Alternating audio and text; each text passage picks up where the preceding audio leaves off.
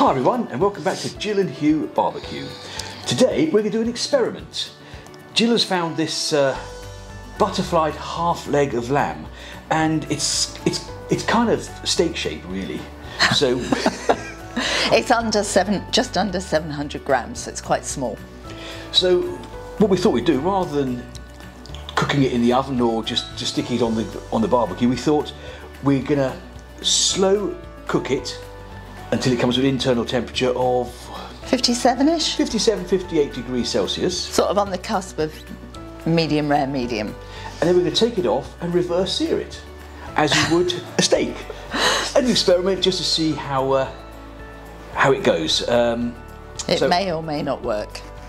I'm going to go and light the Big Joe, and Gill's going to talk you through what she's done so far and what she's going to do, and then we'll come back and put it on the barbecue and uh, Take what it from there. Yeah. Okay.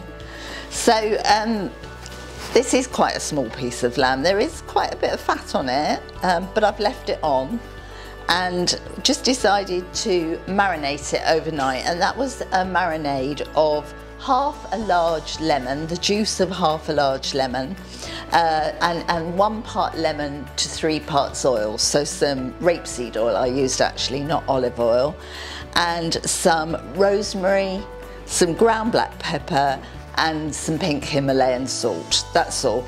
Oh, oh, and some garlic cloves, a couple of garlic cloves, which I cut in half and just put with it.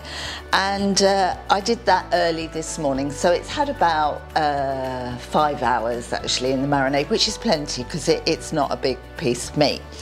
So I've drained off the oil and the garlic and some of the rosemary and I'm just going to put a very light sprinkling of a standard rub over it, um, just very, very light. And I've got half a tablespoon of ground black pepper, half a tablespoon of pink Himalayan salt, and then half a teaspoon of garlic granules and half a teaspoon of rosemary. So it's already been uh, marinating in the rosemary, but we'll just just a light sprinkling.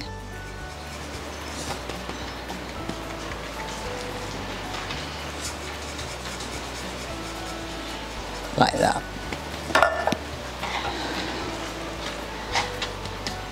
And then once the barbecue is up to temperature, once Huw's got that up to temp, it's not far off at the moment, um, we're just going to sit it directly on the grill grate and cook it at, I think he said 160 till we reach an internal of 57, 58.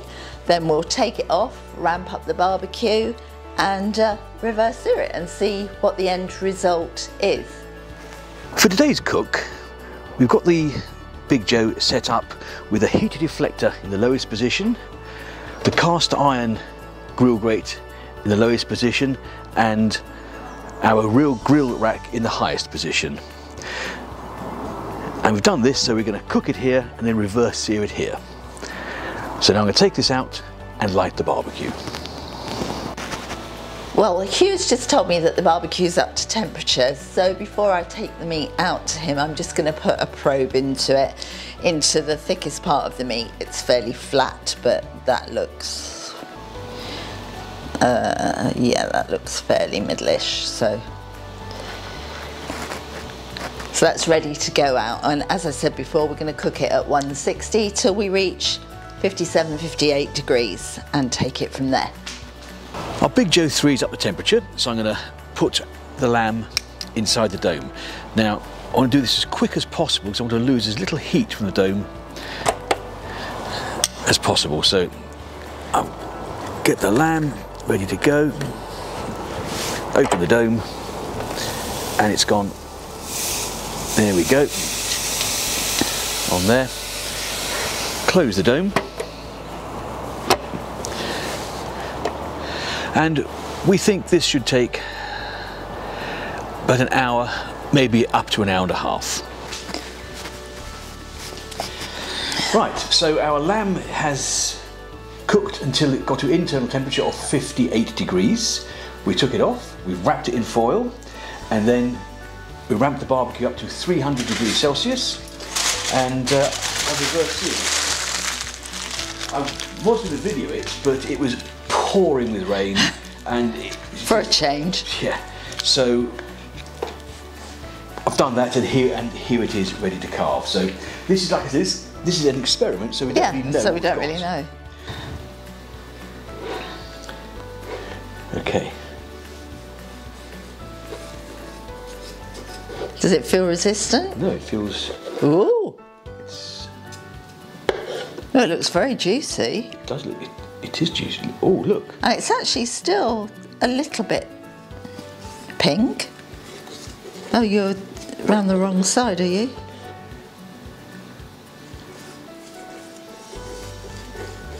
Turn it round and maybe they can see. So yeah, I would say that's medium rare, wouldn't you? Thi- Musical actually, chairs. This this does look. It looks really nice. It does, doesn't it? But, uh, and actually Let's that's how I like it. It is quite pink. Just try a piece of this. but not bloody exactly. Thank you. Well, you've carved it nice and thin as well. Yeah, ready? Cheers. Cheers. Mm. Wow.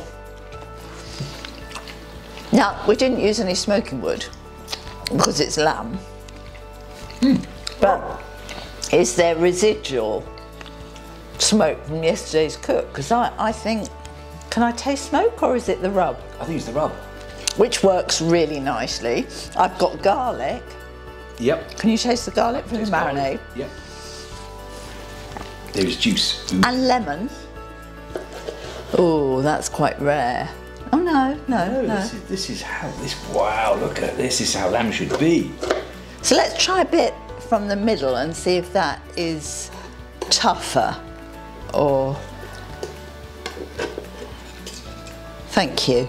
Because that was really tender, that bit nearer the end. It's so juicy. That can go in the gravy. I've already put some in the gravy.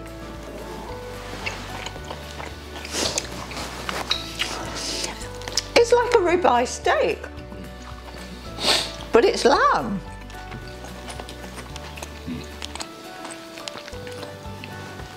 That is bizarre. Hmm.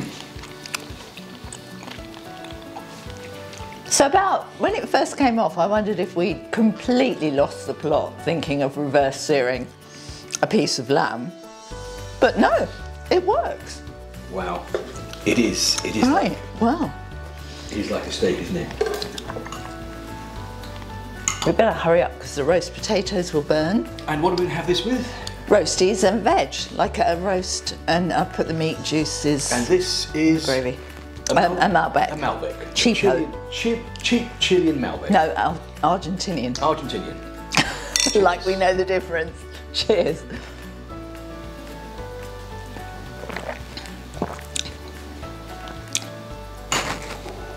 Very fruity. Very nice. Very fruity.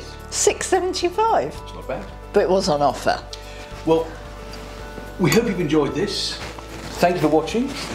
If you want to see more Gill and Huw Barbecue, please hit the subscribe button and give it a big thumbs up and hit the bell so you don't miss any episodes at all. Thank you for watching. We'll see you next time.